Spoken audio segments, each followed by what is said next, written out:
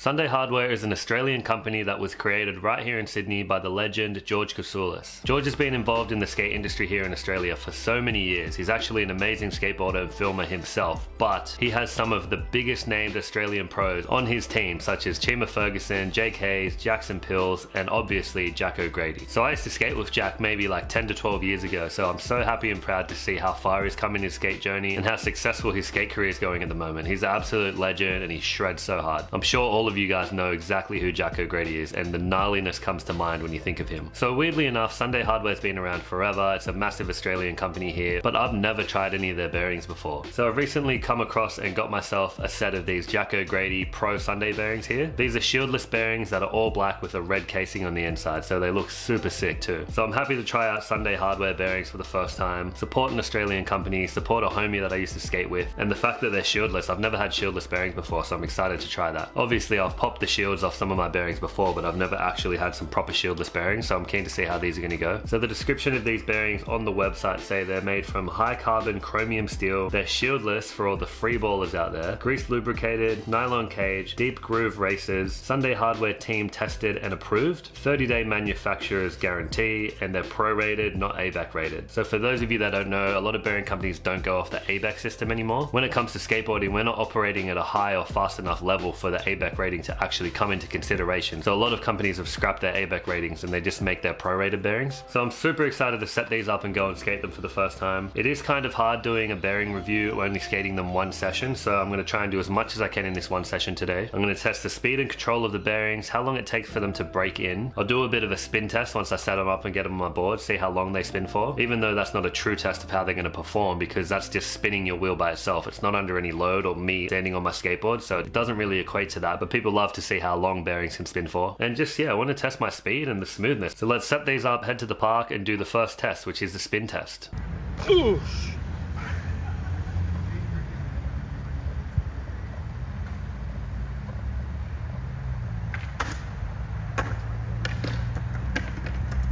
They sound sick.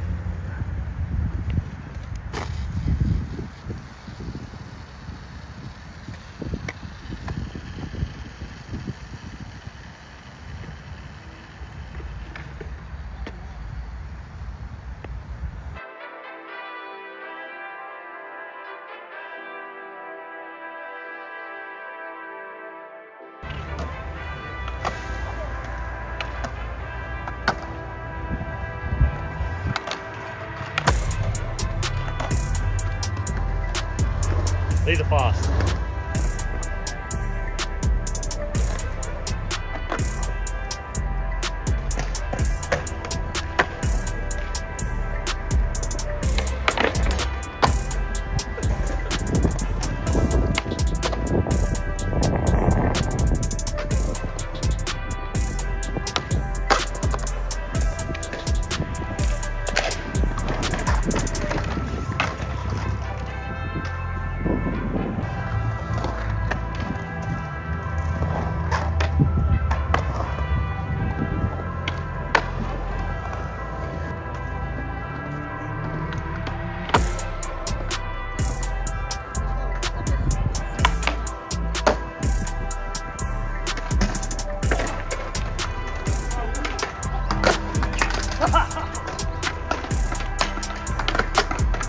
All right, these bearings are so good. They broke in straight away. They're going heaps fast and heaps smooth. I'm actually having a bit of trouble just trying to keep up with them because I've been skating more street and rough spots, so my board's been slower. So here at Carnes Hill at a nice, like a better skate park than a street spot. Like it's a lot smoother here. I'm actually flying. So super good bearings so far, broke in straight away. So let's just keep skating around and see how they feel as the session goes on.